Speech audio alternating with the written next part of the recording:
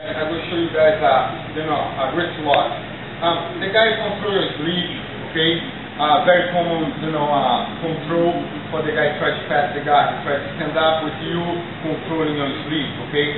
So what I go do here, I go try to uh, break loose the grip, but actually I don't want to, you know, break loose. I want to make him think, you know, I want to break loose.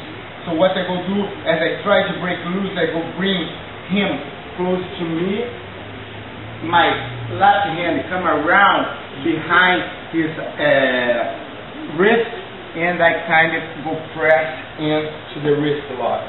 It's a very quick move, very trick move, okay?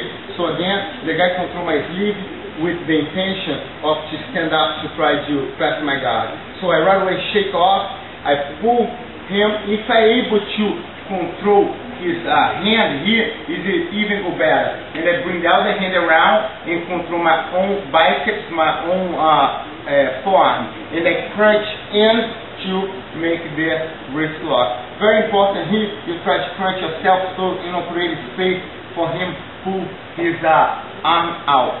Okay? The move is very efficient, very simple, it's very surprise move. Pull, catch, come in. Okay?